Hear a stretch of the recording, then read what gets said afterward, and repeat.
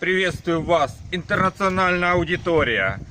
Все наши подписчики, которые смотрят по всему миру, как делается мостовая, как нужно делать мостовую, как правильно сделать для того, чтобы это стояло. Естественно, там необходим просто дренаж. На какую почву он в основном делается? Если у вас глинистая почва, если у вас, э, так сказать, паспорная почва и еще, если у вас зимы, холодные зимы, это необходимость, чтобы вода свободно уходила, чтобы при морозе не подняла всю вашу мостовую. Вот зачем необходим дренаж. Итак, как мы делаем дренаж? В первую очередь мы спланируем территорию, то есть площадку, на которой мы будем делать мостовую. Вы знаете, существует очень много вопросов, вот и я бы до них, может, даже не дошел и не догадался, но у меня есть Света, которая постоянно что-то спрашивает. Ну хорошо, э, нитки, э, уровень. Вот видите, вот там буквально 10-15 сантиметров уровень. То есть наша мостовая ниже, ниже подпорной стены на 10-15 сантиметров. Если заказчик хочет ровно, хорошо, сделаем ровно. Если заказчик хочет нахлест, хорошо, сделаем нахлест. Если есть куда его опускать или куда поднимать, нет проблем. Самое главное, чтобы вы знали этот уровень. И уже по уровню вы определяете, какой вам убирать слой земли. Вот, допустим, если там гараж, то есть гараж, вот, допустим, вот так, она на, наша мостовая будет выше. Естественно, это логически это рассудить, это неправильно, эта вода будет все заходить в гараж.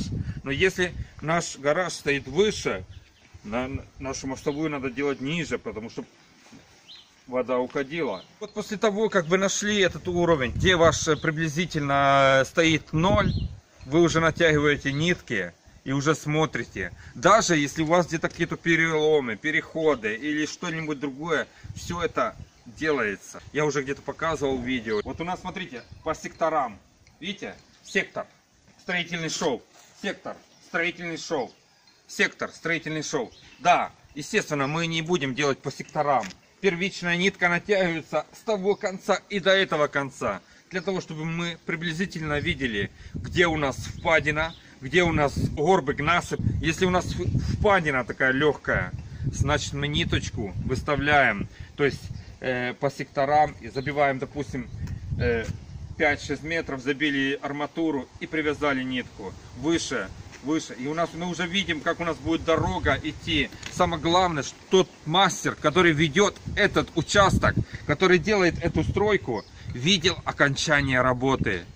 И когда вы увидите эту картинку, у вас не будет проблем с тем, как поставить нитки. Даже если там у вас где-то есть выемка, она может пойти вот как бы немножко дугой и потом трамплином и выйти дальше. И это будет красиво смотреться. Вот смотрите, как мы вот здесь сделали. Вот если смотреть, здесь да, трамплин идет наверх и потом перелом идет. То есть э, как раз э, именно под ту дорожку, под ту дорожку э, сделали как бы трамплинчик и пошло ровно. Потом мы уже, мы уже подсыпаем, в зависимости от, от грунта все.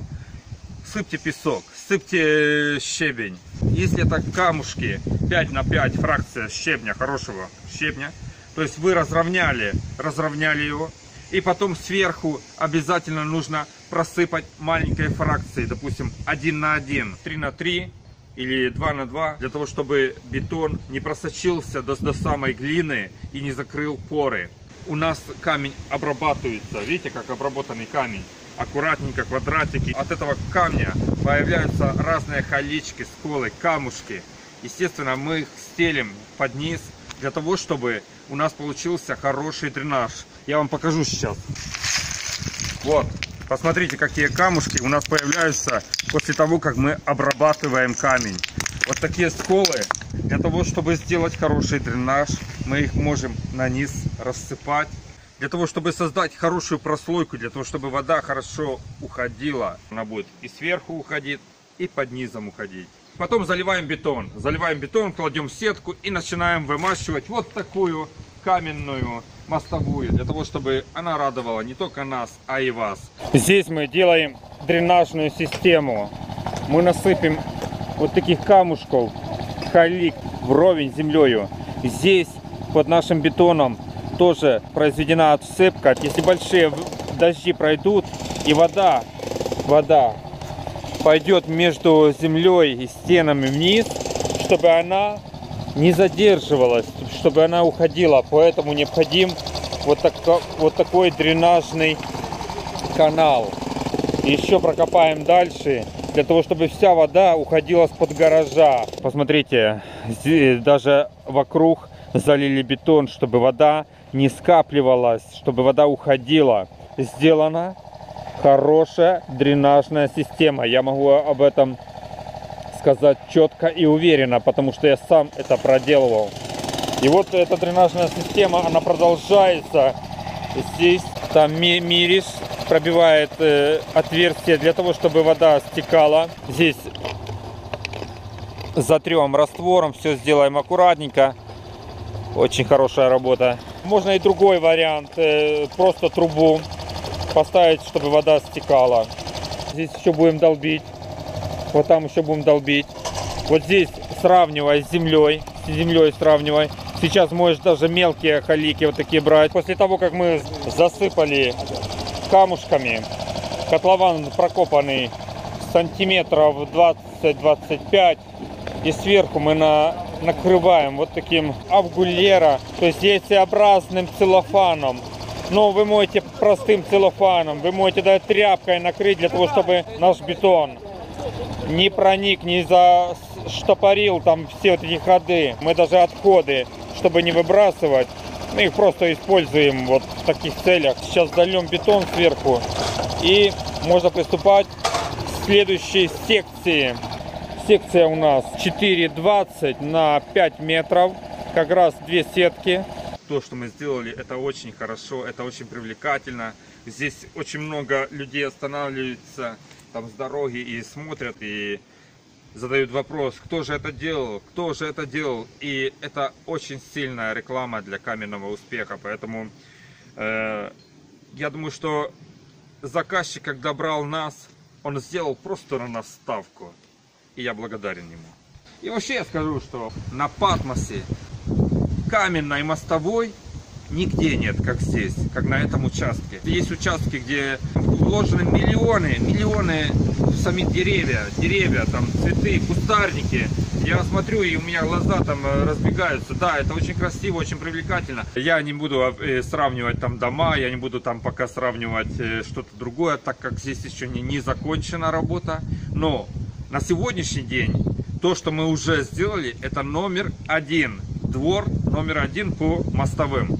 теленамілішоки Елініка стопатмо, денехі то, що катерімі опос едо, опос автитохорафі, то, що оморфа, то, що калітеро, ке девтеро тетелю наротишо, денехі сто патмо, то, що армодіастолі опоскану маєміс. Кітакші надис, аман надис криці, ехі армодіастолі, έτσι, έχει αρμόδια στόλη. Άμα να δεις έτσι, έχει αρμόδια στόλη. Έχει αρμόδια στόλη. Περίπου τετράγωνο, 5 από 5, αρμόδια στόλη. Αυτή το κατερίμι δεν υπάρχει στο πάτμο. Αυτή το τέλειο να σου πω. И я не то, что я хочу себя похвалить там, Да, я всегда хочу похвалить своих ребят, потому что они молодцы у меня. За год они преуспели, насколько высоко, насколько они научились делать красиво, насколько мы научились делать красиво и привлекательно, что мы уже имеем определенный уровень. И я думаю, что э, в ближайшее время мы будем даже проводить определенные соревнования между всеми бригадами. Я приглашаю даже гостей. Это очень интересно, соревнования среди каменщиков. Об этих соревнованиях расскажу в отдельном видео. Далее, в мастер-классе смотрите про верхнюю часть черновой стяжки. Также вы увидите, как нужно вымащивать мостовые камни. Стройте из камня и пусть ваши дорожки, виллы или просто дороги, которые ведут к вашим виллам, будут такие же красивые или даже лучше. Состоятельные люди, стройте из камня, мастера, зарабатывайте на камне, учитесь зарабатывать.